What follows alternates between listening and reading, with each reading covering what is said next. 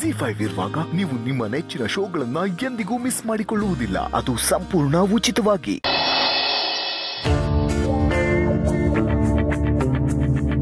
ಸಂಧ್ಯಾ ಏನು ನಿನ್ನ ಉದ್ದೇಶ?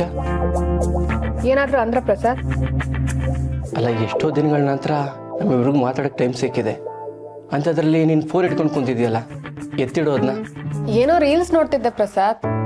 ಈ ಟೈಮಲ್ಲಿ ಮನ್ಸು ಯಾವಾಗ್ಲೂ ಖುಷಿಯಾಗಿರ್ಬೇಕಲ್ವಾ? ಸಾಕು ಮಾಡ್ತೀಯ ನಾಟಕನ? ನೀನು ಬೇರೆಯವ್ರ ಹತ್ರ ಪ್ರೆಗ್ನೆಂಟ್ ಅಂತ ಸುಳ್ಳು ಹೇಳ್ಬೋದು ಆದ್ರೆ ನನ್ನ ಹತ್ರ ಆಗಲ್ಲ. ಏನ್ರ ಹೀಗೆ ಮಾತಾಡ್ತಿದ್ದೀರಾ? ಸ್ವಲ್ಪ ಮೆತ್ತಗೆ ಮಾತಾಡಿ. ನಾನು ನಿಜವಾಗ್ಲೂ ಪ್ರೆಗ್ನೆಂಟ್ ಪ್ರಸಾದ್? ಮೂರು ತಿಂಗಳಿಂದ ನಾವಿಬ್ಬರು ದೂರನೇ ಇದ್ದೀವಿ ಅಂದಮೇಲೆ ಅದು ಹೇಗೆ ಸಾಧ್ಯ? ಹೋಗ್ಲಿ ರಿಪೋರ್ಟ್ ತೋರಿಸು.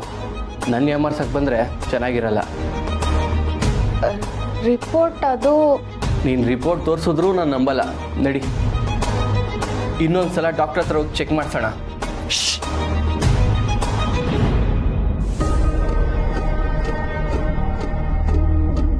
ಹೌದು ನಾನು ಪ್ರೆಗ್ನೆಂಟ್ ಅಲ್ಲ. ಏನಿವಾಗ? ಏನ್ ಸಂಧ್ಯ ನೀನು? ನಿಂಗೆ ತಲೆ ಕೆಟ್ಟಿದ್ಯಾ? ಇಲ್ಲಿ ಎಲ್ಲರ ಹತ್ರ ಸುಳ್ಳು ಹೇಳ್ಕೊಂಡು ಇಲ್ಲಿ ಹಾಕಿದ್ಯಾ? ಸುಳ್ಳು ಹೇಳ್ದೇನೆ ನಾ ಈ ಮನೆ ಮಗಳು ನಾ ಇಲ್ಲಿ ಇರ್ತೀನಿ ಅಂತ ಹೇಳಿದಿದ್ರೆ ತಾತ ನಂಗೆ ತಾಂಬೂಲ ಕೊಟ್ ಕರೀತಿದ್ರಾ? ಅಂದ್ರೆ? ನಿಮ್ಮನೇಲಿ ಹೊಟ್ಟೆಗಿದ್ರೆ ಬಟ್ಟೆಗಿರಲ್ಲ ಬಟ್ಟೆಗಿದ್ರೆ ಮೇಕಪ್ಗಿರಲ್ಲ ನಿಮ್ಮಪ್ಪನೋ ಕಾಸೆ ಬಿಚ್ಚಲ್ಲ. ಅದಕ್ಕೆ ಪ್ರೆಗ್ನೆಂಟು ಅಂತ ಹೇಳಿ ಇಲ್ಲಿಗೆ ಬಂದ್ಮೇಲೆ ರಾಣಿ ರಾಣಿ ತರ ನನ್ನ ನೋಡ್ಕೊಳ್ತಿದ್ದಾರೆ. ತಾತನು ಜಾಸ್ತಿ ಕೆಲಸ ಹೇಳಲ್ಲ. ಜೀವನ ಎಷ್ಟು ಚೆನ್ನಾಗಿದೆ ಗೊತ್ತಾ? ಅಂದ್ರೆ ನೀನು ಮಾಡಿರೋ ಕೆಲಸಕ್ಕೆ ನೀನ್ ಇನ್ನೇನ್ ಹೇಳಿದ್ರು ನಿನ್ ತವ್ರ ಮನೆಯವ್ರು ನಿನ್ನ ಮನೆಗೆ ಸೇರಿಸ್ತಿರ್ಲಿಲ್ಲ ಅಲ್ವಾ? ಹ್ಞೂ ಮತ್ತೆ. ಇದೊಂದು ವೀಕ್ನೆಸ್ ಅವ್ರದ್ದು ಆದ್ರೂ ಎಂತ ಐಡಿಯಾ ಹೊಳಿತಲ್ವಾ ನನ್ನ ತಲೆಗೆ? ಹೌದೌದು. ಇದನ್ನೇ ಯಾವ್ದಾರ ಒಂದು ಒಳ್ಳೆ ಕೆಲಸಕ್ಕೆ ಉಪಯೋಗಿಸಿದ್ರೆ ಏನೋ ಒಂದು ಆಗೋದು. ನೀವೇನು? ಸಂಭಾವಿತನ್ ತರ ಟ್ರ್ಯಾಕ್ ಬದಲಾಯಿಸ್ತಿದ್ದೀರಾ? ಇಷ್ಟು ದಿನ ನೀನು ಏನೇ ಮಾಡಿದ್ರು ನಾನೇನು ಕೇಳ್ತಾ ಇರಲಿಲ್ಲ. ಆದರೆ ಮಗು ವಿಷಯಕ್ಕೆ ಸುಳ್ಳು ಹೇಳ್ತಾ ಇರೋದು ಸರಿನಾ? ಹೋಗ್ಲಿ ನೀನು ಸ್ವಲ್ಪ ದಿನಕ್ಕೆ ಹೊಟ್ಟೆ ಬರಬೇಕಲ್ಲ. ಆಗೇನು ಮಾಡ್ತೀಯಾ? ಅದಕ್ಕೂ ಯೋಚನೆ ಮಾಡಿ ಆಗಿದೆ. ಇಲ್ಲಿ ನೋಡಿ. ಪ್ರಚಂಡ ಕಿಲಾಡಿ ಕಣೆ ನೀನು. ಹ್ಮ್ ನಮ್ ದತ್ತನ್ ಮೊಮ್ಮಗಳಲ್ವಾ? ಆಮೇಲೆ ಡೆಲಿವರಿ ಆಗಬೇಕಲ್ಲ. ಆಗೇನು ಮಾಡ್ತೀಯಾ? ಅಯ್ಯ ಅದಕ್ಕಿನ್ನೂ ಟೈಮ್ ಇದೆ. ಅಲ್ಲಿ ತನಕ ಹುಚ್ಚನ್ ಮದ್ವೆಲಿ ಉಂಡವನೆ ಜಾಣ. ಯಪ್ಪ. ತಲೆ ಚಚ್ಕೊಳ್ಳೋದ್ ಬಿಟ್ಟು ನನಗ್ ಸಪೋರ್ಟ್ ಮಾಡಿ. ಸದ್ಯದಲ್ಲೇ ನಿಮಗ್ ಹತ್ತು ಲಕ್ಷ ಸಿಗೋ ತರ ಮಾಡ್ತೀನಿ. ಹತ್ತು ಲಕ್ಷನಾ? ಹೇಗೆ? ವೇಟ್ ಮಾಡಿ. ಗೊತ್ತಾಗತ್ತೆ.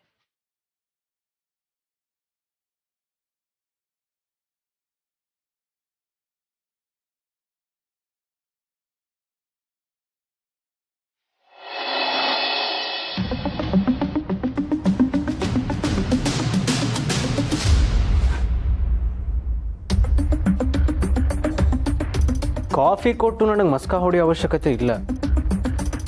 ಅಂತ ಉದ್ದೇಶ ಏನಿಲ್ಲ. ನನ್ನ ಖುಷಿಗೆ ತಂದೆ ಅಷ್ಟೆ. ಖುಷಿ?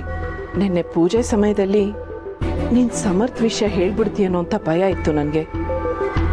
ಜೊತೆಗೆ ಬೇರೆ ಯಾವ್ದಾದ್ರು ವಿಷಯಕ್ಕೆ ನೀನೇನಾದರೂ ಮಾತಾಡ್ಬಿಡ್ತೀಯ ಅಂತ ಅನ್ಕೊಂಡಿದ್ದೆ. ಆದರೆ ನೀನು ಬೇರೆ ಏನೂ ಮಾತಾಡದೆ ಎಲ್ಲರ ಜೊತೆನೂ ಖುಷಿ ಖುಷಿಯಾಗಿದ್ದಿದ್ದು ನೋಡಿ ತುಂಬ ಸಮಾಧಾನ ಆಯಿತು ಅಭಿ. ಅದಕ್ಕೆ ನಾನು ನಿನಗೆ ಧನ್ಯವಾದ ಹೇಳಬೇಕು. ಹಾಗ ಕಾಫಿ ತಂದೆ. ಉಪಚಾರಕ್ಕೆ ಅಂತ ಕರೆದೋರ್ ಮನೆಗೆ ಹೋಗಿ ಸೀನ್ ಕ್ರಿಯೇಟ್ ಮಾಡೋ ಬುದ್ಧಿ ಇದ್ರೆ ಅದು ನಿಮಗಿರ್ಬೋದು. ನನಗಿಲ್ಲ. ಅಲ್ಲ ನಾನು ಬೈದ್ರು ನಗ್ತಿರಲ್ಲ? ನಿಮ್ಮ ಮಗನೂ ಹೀಗೆ. ನಾನು ಎಷ್ಟು ಬೈದ್ರು ನನ್ನ ಕೈ ಕೆಳಗೆ ಬಂದು ಕೆಲಸ ಮಾಡ್ತಾನೆ. ಅವನಿಗೆ ಸ್ವಲ್ಪನೂ ಸ್ವಾಭಿಮಾನನೇ ಕಲಿಸಿಲ್ವಾ ನೀವು? ಪ್ರಾಮಾಣಿಕವಾಗಿ ದುಡಿತಾ ಇದ್ದಾನಲ್ಲ ಅಭಿ. ಅವನಿಗೆ ಸ್ವಾಭಿಮಾನ ಇಲ್ಲದೆ ಇದ್ದಿದ್ರೆ ಸಂಧ್ಯಾ ತಗೊಂಡು ಹೋಗಿದ್ ಒಂದು ಲಕ್ಷ ರೂಪಾಯಿನ ಅವನು ವಾಪಸ್ ತಂದು ಕೊಡ್ತಾ ಇರಲಿಲ್ಲ. ಕಷ್ಟ ಆಗತ್ತೆ ಅಂತ ಗೊತ್ತಿದ್ರು ಬಡ್ಡಿ ದುಡ್ಡು ತಂದಿದ್ದಾನೆ ಅನ್ಸುತ್ತೆ. ಯಾಕೆ ಹೇಳು? ಸ್ವಾಭಿಮಾನ ಇರೋದಕ್ಕೆ. ನಿಮ್ಮ ಮಗನ ವಹಿಸ್ಕೊಂಡ್ ಬಂದಿದ್ದು ಸಾಕು. ಅವನಿಗೆ ಹೇಳಿ ಬರೀ ಹಾರ್ಡ್ ವರ್ಕ್ ಮಾಡಿದ್ರೆ ಸಾಲದು ಸ್ಮಾರ್ಟ್ ವರ್ಕ್ ಮಾಡಬೇಕು ಅಂತ. ಹಾ. ಎಲ್ಲದಕ್ಕಿಂತ ಇಂಪಾರ್ಟೆಂಟ್ ನಿಮ್ಮ ಮಗಳಿಗೆ ಒಳ್ಳೆ ಬುದ್ಧಿ ಕಲಿಸಿ. ಆಯ್ತಪ್ಪ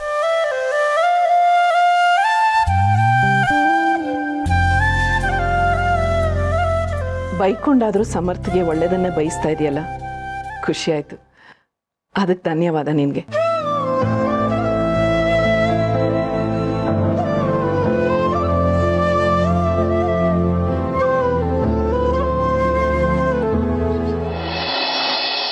ಈಗ ವೃಶ್ಚಿಕ ರಾಶಿಯವರ ಫಲಾಫಲಗಳ ಬಗ್ಗೆ ತಿಳಿದುಕೊಳ್ಳೋಣ. ಬನ್ನಿ. ಏನ್ ತಾತ? ಬೆಳಗ್ ಬೆಳಿಗ್ಗೆ ಟಿ ವಿ ಹಾಕೊಂಡು ನೋಡ್ತಿರ್ತೀರಲ್ಲ ಬೋರ್ ಆಗಲ್ವಾ? ಬೋರ್ ಆಗಬಾರ್ದು ಅಂತಾನೆ ಕಣೋ ಟಿ ವಿ ನೋಡೋದು. ಏ ಆರು ಭವಿಷ್ಯ ನೋಡ್ತಿದ್ದೆ. ಈ ಹೊತ್ತು ನಿನ್ನ ರಾಶಿಯವರಿಗೆ ಬಂಪರ್ ಇದೆ ಅಂತ ಹೇಳಿದ್ರು. ಹೌದೌದು ಬಂಪರ್ ಅಂತ. ಬೋನಸ್ ಕೊಡ್ಬೋದೇನೋ? ಕೊಟ್ರೆ ನನ್ನ ಮಗುಗೇನಾದ್ರೂ ತಗೊಳ್ಬೋದಿತ್ತು.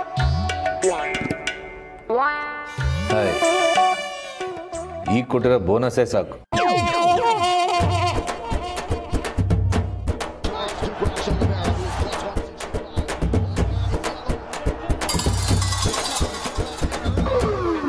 ಬೆಳಗ್ ಬೆಳಿಗ್ಗೆ ಇದೊಂದು ಬಾಕಿ ಇತ್ತು. ಏನಪ್ಪ ಪ್ರಸಾದ?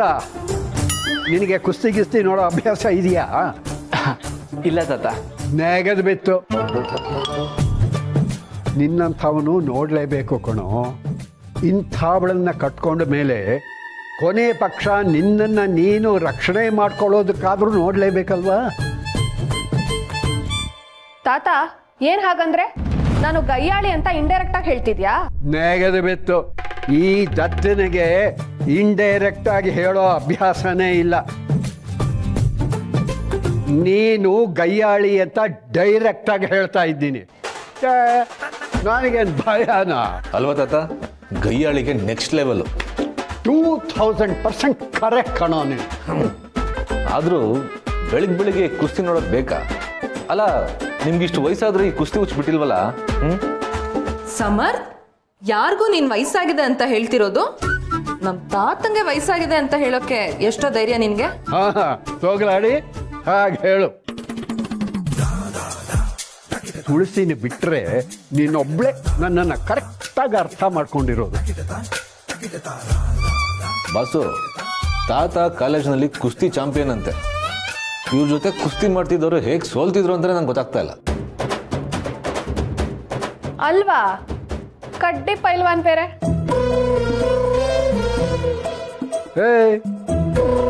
ಏನ್ ಅನ್ಕೊಂಡಿದೀಯ ಶಕ್ತಿಗಿಂತ ಯುಕ್ತಿ ಮೇಲು. ನಾನು ಬುದ್ಧಿ ಉಪಯೋಗಿಸಿ ಗೆಲ್ತಾ ಇದ್ದಿದ್ದು. ಹೌದೌದು. ಗರಡಿಲಿ ಚೆಸ್ ಆಡ್ತಿದ್ರಿ ಅನ್ಸತ್ತೆ. ಮೋಸ್ಟ್ಲಿ ಅಲ್ಲಿರೋರು ನಿಮ್ಮ ಮಾತಿಗೆ ಸೋಲ್ತಿದ್ರು ಅನ್ಸುತ್ತೆ. ಕರೆಕ್ಟ್ ತಾತ ಚಾಂಪಿಯನ್ ಆಗಿದ್ ಹಾಗೆ. ಗೊತ್ತಾಯ್ತಾ? ನೆಗೆದು ಬಿತ್ತು. ನಮ್ಮ ಕಾಲೇಜಲ್ಲಿ ಕುಸ್ತಿ ಸ್ಪರ್ಧೆ ಇಡ್ತಾ ಇದ್ರು. ಕೊನೆ ಡೇಟ್ವರೆಗೂ ನನ್ನ ಹೆಸರು ಬಿಟ್ರೆ ಬೇರೆ ಯಾರು ಹೆಸರು ಕೊಡದ ಹಾಗೆ ನಾನು ನೋಡ್ಕೋತಾ ಇದ್ದೆ. ಹಾಗಿದ್ರೆ ನೀವೊಬ್ಬರೇ ಪಾರ್ಟಿಸಿಪೇಟ್ ಮಾಡ್ತಾ ಇದ್ರಾ? ಮತ್ತೆ ದತ್ತನ ವಿರುದ್ಧ ನಿಲ್ಲೋ ಧೈರ್ಯ ಆದರೂ ಯಾರಿಗಾದ್ರೂ ಇರಬೇಕಲ್ಲ? ಓಹೋ ಆ ತರ champion Zee five app download ಮಾಡಿ ಎಲ್ಲಾ ಸಂಚಿಕೆಗಳನ್ನು ಸಂಪೂರ್ಣ ಉಚಿತವಾಗಿ ನೋಡಿ.